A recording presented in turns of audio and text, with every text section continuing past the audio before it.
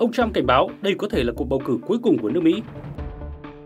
Tỷ phú Elon Musk vận động tranh cử cùng ông Trump. Bà Harris dẫn trước ông Trump trong khảo sát toàn quốc. Ông Trump cảnh báo đây có thể là cuộc bầu cử cuối cùng của nước Mỹ. Chỉ còn chưa đầy một tháng nữa, cuộc bầu cử Tổng thống Mỹ năm 2024 sẽ diễn ra. Tại thời điểm này, hai ứng cử viên của Đảng Dân Chủ và Cộng Hòa đều đang giáo diết vận động tranh cử với các chiến lược khác nhau để thu hút sự ủng hộ của những cử tri dao động. Trong cuộc vận động tranh cử ngày 6 tháng 10 theo giờ địa phương, ông Trump tiếp tục cáo buộc Đảng Dân Chủ sẽ gian lận trong cuộc bầu cử sắp tới và cảnh báo các nguy cơ nhập cư và kinh tế đối với Mỹ. Nói rằng năm nay có thể là cuộc bầu cử cuối cùng nếu Đảng Dân Chủ tiếp tục ở lại Nhà Trắng. Phát biểu tại cuộc vận động ở bang chiến địa Wisconsin, ông Trump cảnh báo nếu các bạn chịu đựng thêm 4 năm nữa, các bạn có thể không bao giờ phục hồi được. Trên thực tế, tôi sẽ nói rằng một số người nói như vậy. Tôi nghĩ rằng điều đó rất nghiêm trọng, nhưng tôi có thể hiểu được. Một số người nói rằng bạn sẽ không bao giờ có một cuộc bầu cử nào nữa. Đây có thể sẽ là cuộc bầu cử cuối cùng của các bạn và tôi có thể thấy điều đó. Sau đó, ông Trump tiếp tục công kích cá nhân Phó Tổng thống Kamala Harris, cho rằng bà được chọn làm ứng cử viên của Đảng Dân Chủ vì chủng tộc và đưa ra những nhận xét khinh miệt về trí thông minh của bà. Ông cảnh báo về tác động tiềm tàng của các chính sách kinh tế và nhập cư của bà Harris. Tại cuộc vận động tranh cử của ông Trump tại bang Pennsylvania trước đó một ngày, tỷ phú công nghệ Elon Musk cũng đưa ra bình luận tương tự khi nói rằng nếu cử tri không bỏ phiếu thì đây sẽ là cuộc bầu cử cuối cùng. Ông Musk nói, đây là cuộc bầu cử quan trọng nhất trong cuộc đời chúng ta. Tổng thống Trump phải giành chiến thắng để bảo vệ hiến pháp. Ông ấy phải giành chiến thắng để bảo vệ nền dân chủ tại Mỹ. Trong khi đó, tại cuộc vận động tranh cử ngày 6 tháng 10, bà Kamala Harris đã chỉ trích đối thủ về vấn đề sinh sản và quyền phá thai, vấn đề mà Đảng Dân Chủ tin rằng sẽ giành được lá phiếu của những cử tri chưa quyết định. Đây chính là người đã nói rằng phụ nữ nên bị trừng phạt bởi phá thai, bà Kamala Harris nhấn mạnh. Cuộc bầu cử Tổng thống Mỹ đang bước vào giai đoạn nước rút và ông Trump lẫn bà Harris vẫn bám đuổi sát nút.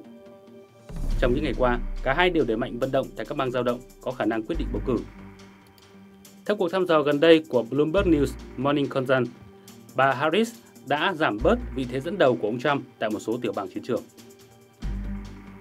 Tỷ phú Elon Musk vận động tranh cử cùng ông Trump. Mới đây nhất, cựu Tổng thống Mỹ Donald Trump đã có sự giúp sức của tỷ phú Elon Musk, người giàu nhất thế giới và cũng là người có sức ảnh hưởng vô cùng lớn.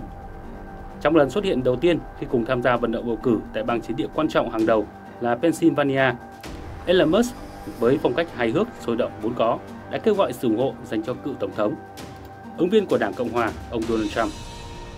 Ông Musk cáo buộc Đảng Dân Chủ muốn tước đoạt quyền tự do ngôn luận của nước Mỹ, cũng như quyền sở hữu vũ khí và quyền đi bầu cử của cử tri. Đó là dự báo của vị tỷ phú về nỗ lực của Đảng Dân Chủ thúc đẩy mở rộng quyền bỏ phiếu, siết chặt các biện pháp kiểm soát vũ khí để ứng phó với bạo lực súng đạn gia tăng. Ông Musk nói, ông Trump phải thắng để bảo toàn hiến pháp và phải thắng để bảo vệ nền dân chủ Mỹ. Ông chủ của Tesla và SpaceX lần đầu tiên công khai tuyên bố ủng hộ ông Trump là vào ngày ông Trump bị ám sát hụt tại sự kiện vận động tranh cử ngoài trời cũng ở Pennsylvania hồi tháng 7. Ông Musk nói rằng bài kiểm tra thực tế về tính cách của một ai đó là cách họ cư xử dưới làn đạn và chúng ta có một tổng thống không thể leo cầu thang và một tổng thống khác lại vung năm đấm sau khi bị bắn. Ông Musk ngầm nhắc đến việc Tổng thống đương nhiệm Joe Biden từng bị vấp ngã khi lên máy bay và việc ông Trump giơ nắm đấm sau khi bị ám sát hụt.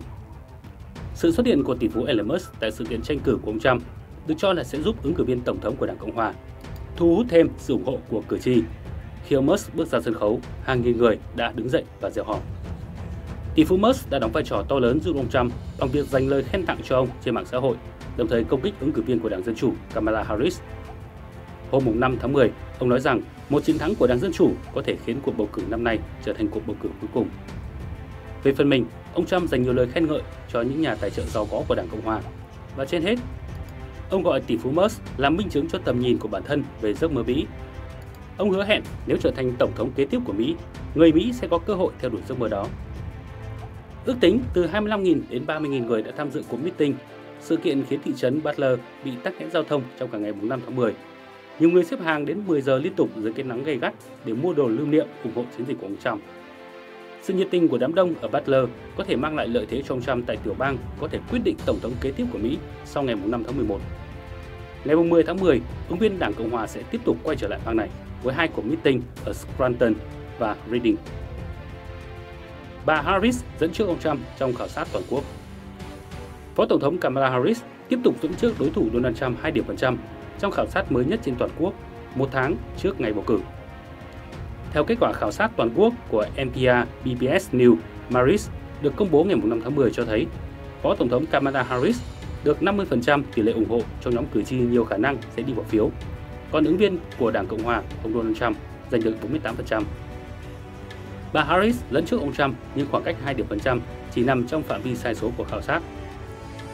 Ở nhóm cử tri đã đăng ký đi bỏ phiếu, bà Harris giành được 50% tỷ lệ ủng hộ và ông Trump nhận được 47%.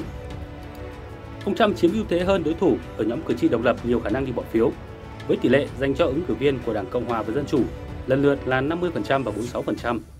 57% cử tri nam ủng hộ ông Trump và 41% ủng hộ bà Harris. Ở nhóm cử tri nữ, ứng viên Tổng thống Đảng Dân Chủ dẫn trước với đối thủ Đảng Cộng Hòa với tỷ lệ là 58% và 40%. Ba vấn đề hàng đầu tác động đến lựa chọn của cử tri trong cuộc bầu cử ngày 5 tháng 10 đó là bảo vệ nền dân chủ, kinh tế và nhập cư. Về tổng thể, khoảng 51% người Mỹ có quan điểm bất lợi đối với ông Trump và 45% có quan điểm ngược lại.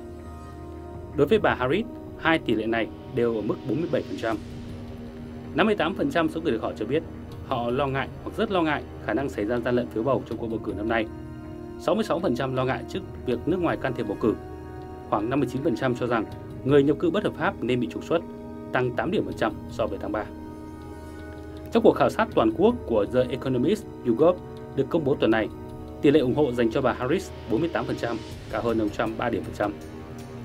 Tổng hợp các cuộc thăm dò của The Hill Decision Desk HQ, ứng viên Đảng Dân Chủ dẫn trước cựu Tổng thống Trump 4,2 điểm phần trăm trên toàn quốc, với 50,2 điểm phần trăm so với 46%. Cuộc thăm dò của NPR BBS News Madrid được tiến hành từ ngày 27 tháng 9 đến 1 tháng 10 với 1.514 cử tri đăng ký trên toàn quốc. Cả hai chiến dịch tranh cử đều ở trong giai đoạn nước rút khi cách ngày bỏ phiếu còn khoảng một tháng. Ông Trump hôm 5 tháng 10 vận động tranh cử tại thành phố Butler, bang Pennsylvania, nơi bị ám sát hụt hồi tháng 7 để lấy lại động lực cho chiến dịch tranh cử, giữa lúc các cuộc khảo sát cho thấy bà Harris đang chiếm ưu thế. Phó Tổng thống Kamala Harris cùng ngày có mặt tại bang Bắc Carolina để tiếp tục gặp gỡ lực lượng cứu hộ, những người bị ảnh hưởng do cơn bão Helen. Cơn bão đã tàn phá 6 bang của Mỹ và khiến ít nhất 220 người thiệt mạng.